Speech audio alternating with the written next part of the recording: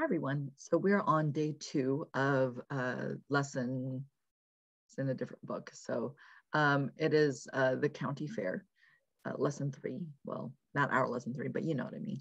And this is not in your book, so please don't look for it because it's not there. The handout for this, uh, the PDF of this version of this lesson is in uh, the previous days for lesson ones. So look there.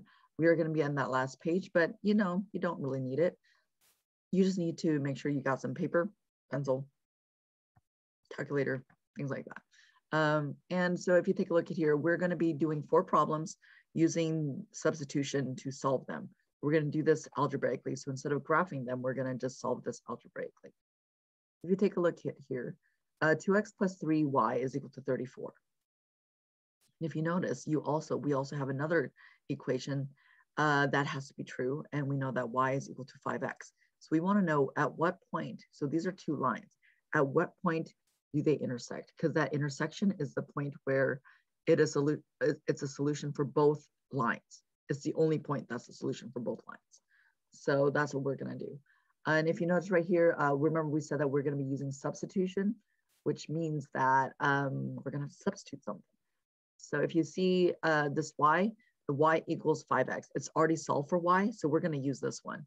And we're going to plug in, uh, instead of this uh, y in the green, we're going to plug in 5x, all right? Because we know that y is equal to 5x. They're the same thing. So we took out the y, the green y, and we're going to put in the purple 5x. So if you notice here, there's no more green y, right? It should not be there because if it's still there, we did not correctly substitute anything in. We just added stuff in and not substitute. Remember, substitution means you take it out and you put the other thing in. All right, so we took out the green y and we put in the uh, purple 5x. And now, and now it's just a one equation with one variable. We can solve these, okay? We've done these before. So I notice here that I'm gonna just simplify the left-hand side. So three times 5x is 15x. And then we have uh, two uh, like terms here on the left-hand side. So we're gonna combine like terms. And it's 2x plus 15x, which is 17x. Okay, and we're just simplifying that part until we get to, okay, here's our one variable. Just got to get rid of that 17. So we're just going to divide both sides by 17. Done. All right. And so x is equal to 2. So now a lot of times we would be like, if it was last unit, we'd be like, okay, we're done. Move on to the next problem. But we're not because remember, we have two variables now, right? So not only do we need to find x, we need to find y. Okay. Don't ask why. and then so we're going to go in here and you could actually plug in this 2 for either of these equations. You could plug it in for the top equation or the bottom equation. What I would do is pick the one that looks the easiest. So be like, oh, yeah, that looks, uh, this lower, the purple equation looks much easier. So I just plugged it into that purple equation. So um, we plug in the two in for x, again, substituting. You still see an x there, you did not substitute it right. Um, so five times two, which is 10. So our equation we're saying is 2 um, and uh, we had graph, we checked this by graphing, but actually you can check this by, uh, what is it called? Uh, algebraically. You don't actually need to graph it. So what we would do is since we use the purple graph to find the, uh, the y, the remaining uh, variable, we're gonna use the green one, the green equation to check it. So two, and instead of x, we're gonna plug in what we know x to be now. And same thing with the y. I'm gonna put a question mark above it. So this is my check. But do you have to do this every single time? No, but it's uh, on a test I would just so that you can, you know, for sure that you did it right. Um, so we plug in the two for X and the 10 for Y, right? And then we're gonna just simplify the left-hand side. So it's gonna be two times two, which is four, plus three times 10, which is 30. Is that equal to 34? Yeah, 30 times four is 34. So yes, 34 is equal to 34. Happy days there we checked it. Okay, so that's how you algebraically check. Um, just make sure you put it in the equation that you worked on before. That's a easier way or a better way to check your work, okay? So now we're gonna go on to B.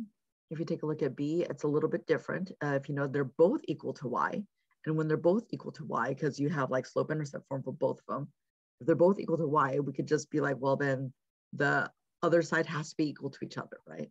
So we know that 4x plus 2 has to equal 3x minus 2.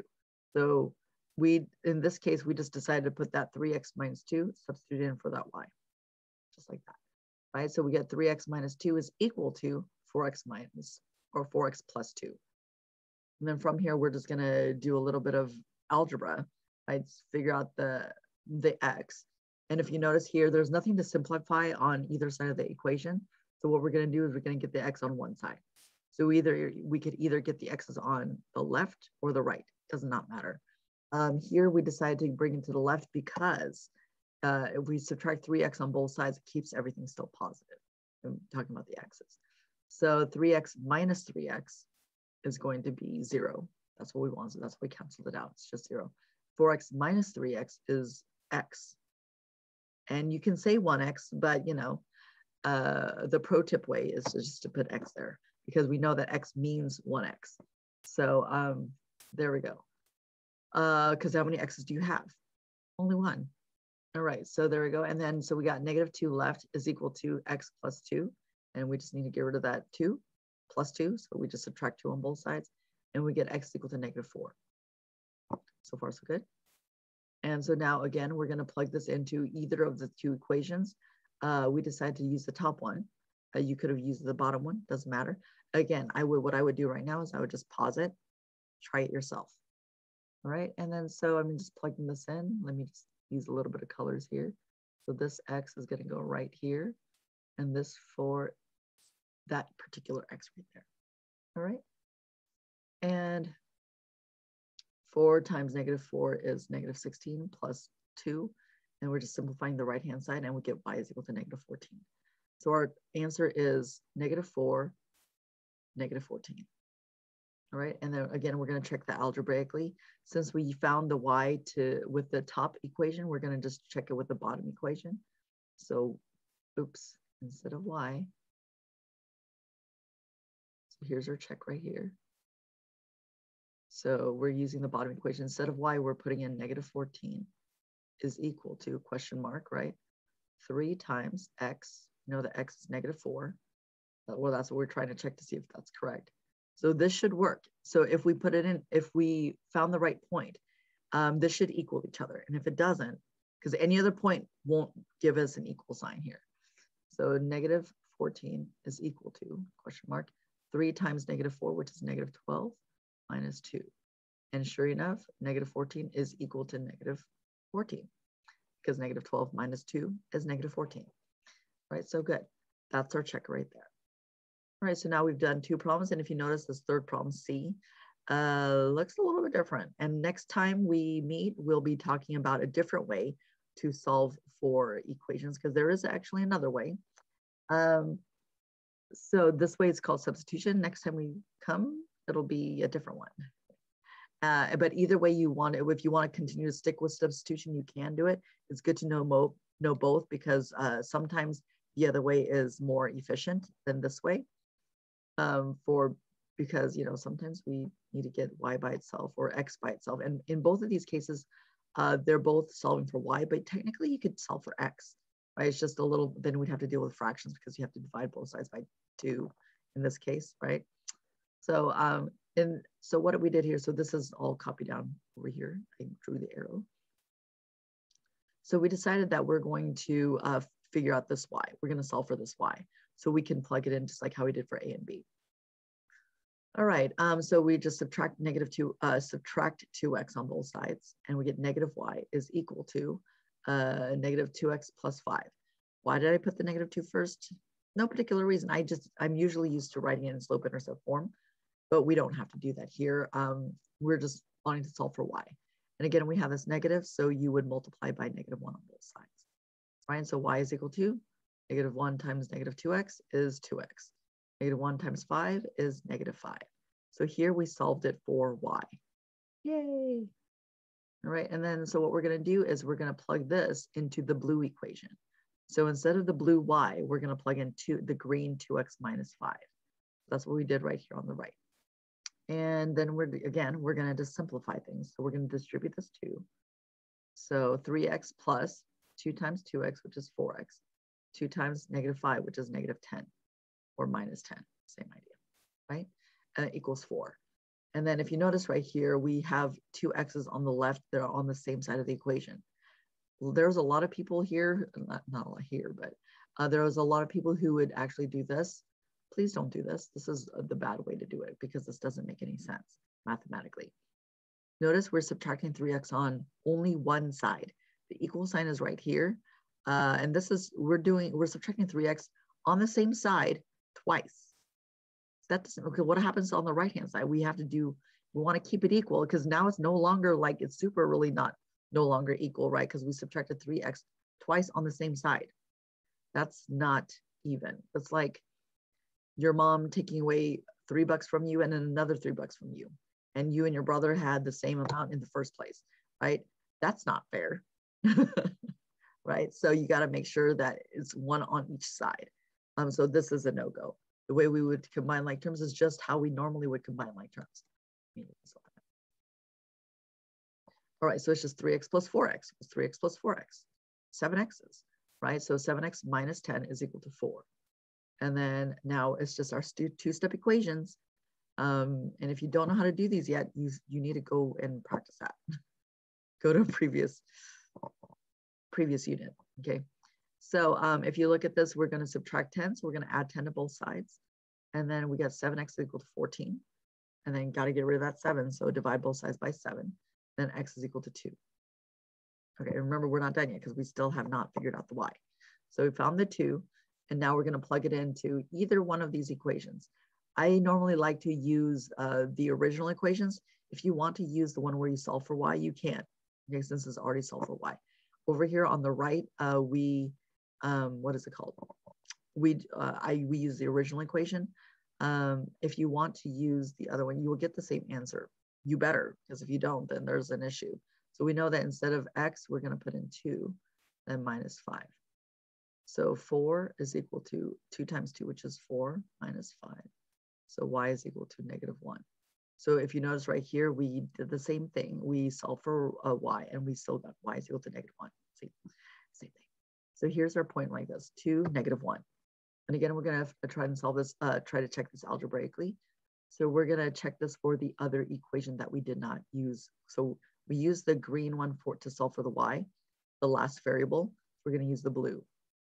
So let me go with blue. Here's the blue equation. So here's 3x plus 2y. Notice I'm just putting parentheses because, you know, we have to uh, replace those numbers there, replace those with numbers there. So 3 times 2 plus 2 times negative 1. All right, and then we're just going to simplify the left. Oh, don't forget our question mark. Just write down that that's our check. And this is going to be 6 plus 2 times negative 1 is negative 2 is equal to 4. Is that true? And we're like 6 plus negative 2. Yep, that's 4. 4 is equal to 4. Excellent. Okay, so this is our answer. Good. We are on our last problem. You ready for that? All right. So if you take a look at this, again, we have, they're both in standard form or general form. Uh, either way, uh, either name is good. Um, and these, all of these variables have like coefficients in front of them. And the only one that doesn't is this top y right here. So I'm like, well, we're going to solve for this y because that's a pretty easy one to solve for, for solve for y. All right, so here we're just going to subtract 3x on both sides and get y is equal to 8 minus 3x. And if you have not ever tried this already by yourself, just try it by yourself. right, so if you want to press pause, go ahead and do that. All right, so if you take a look at this here, so 8 minus 3x, right, is what you should get. And we're going to plug this 8 minus 3x in for the y. So this is going to be 6x plus 2 times, and instead of y, we're plugging in 8 minus 3x is equal to 10. And then so we're gonna just distribute this. So it's going to be 6x, because we haven't used that yet, plus 2 times 8, which is 16, minus 2 times 3x, which is 6x, is equal to 10. All right?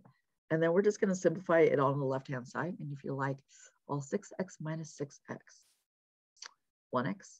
A lot of people say 1x because they really find an aversion to really canceling them out. So if, just think about it this way. If you have six x's, and you take away those six x's, how many x's do you have left?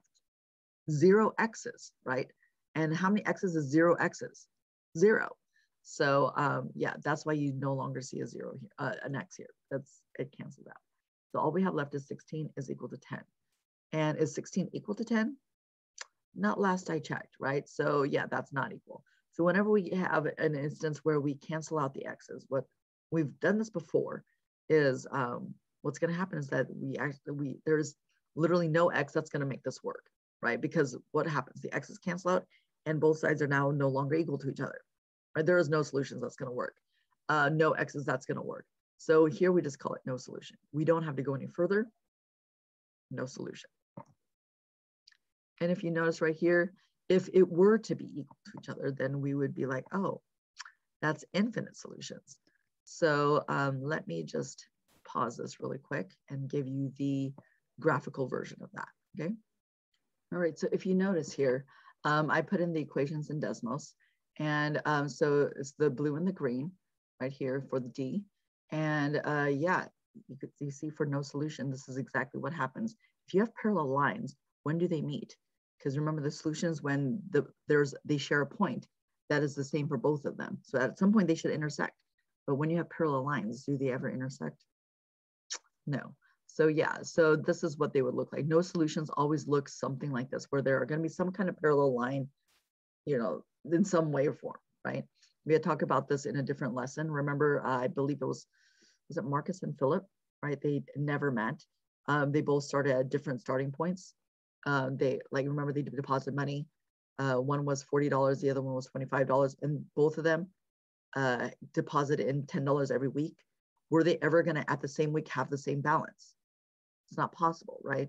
Because one of them deposited 40 in, to begin with, the other one 25.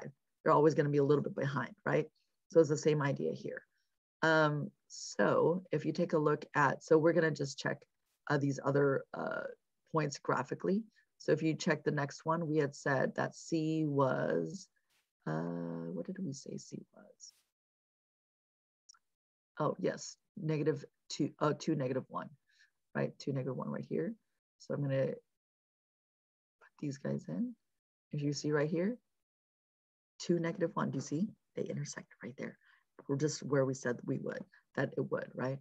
So that's where two, and then um, let's check our B. We're gonna kind of go backwards here. So our B, we said that it was going to be 210. So let's try this out. So there would be these two right here. The ones where we set them, set them equal to each other. Ooh, maybe it's not 210 oh, sorry, it was over here, wrong one. Negative four, negative 14. So here, if we just scoop this down, here's negative four for the X. And right here, see, they cross here at negative four, negative 14. See, I told you. but this is how we check it instead of uh, having to graph it, because some of them could be a little bit, you know, different. And then here, our uh, the first one that we started with, we said the intersection was going to be at 210. And so let's go up here and sure enough, oh, there's 210, just like that. All right. Hopefully that was helpful for you. Um, if you want to practice them, I would highly recommend that you do that. Be comfortable with substitution because it's going to keep on coming up again and again, not just in this unit, but in future um, future math classes. Okay. I'll see you later. Bye.